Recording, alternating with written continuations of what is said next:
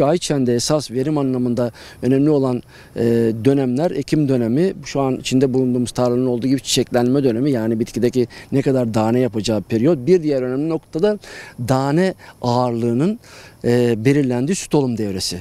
Şimdi aslında çok kritik bir periyottaydık. Gerçekten çok stresteydi ayçiçekleri. Şu an bu çiçeklenme döneminde bayram öncesi olan yağışlar bunu bir ölçüde giderdi. Bir can suyu ve can simidi oldu. Trakya'nın sarı gelini, doğanın sarı gelini ayçiçeği en azından bir nefes aldı ve can suyuyla e, kendini kaldırdı. Sıcaklarla beraber gelişmesini hızlandırdı.